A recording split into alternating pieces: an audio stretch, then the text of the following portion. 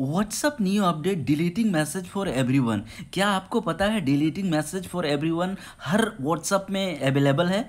नहीं तो मैं बता दूँ कि आपने अगर किसी को व्हाट्सअप चैट करते हैं या मैसेज करते हैं, गलती से चला गया, उसको आप डिलीट करना चाहते हैं तो व्हाट्सअप ने एक समय दी हुई थी 2017 में कि आठ मिनट के अंदर आप किसी को भेजे गया मैसेज को आप डिलीट कर सकते हैं। इसको बढ़ा करके व्हाट्सअप ने करी थी एक घंटा आठ मिनट सोलह सेकेंड कर दी थी, जिसके अंतर्गत आप दिए गए मैसेज को डिलीट कर सकते थे। उसको बढ़ा करके अभी व्हाट्सअप ने यहाँ पर ऊपर में देख रहे होंगे डिलीट फॉर एवरीवन उसको बढ़ा करके दो दिन बारह घंटा करने जा रही है। जिसमें से कि बता दूँ, बहुत सारे लोगों के व्हाट्सअप में ये फीचर्स आ चुका है, मेरे में भी आ चुका है।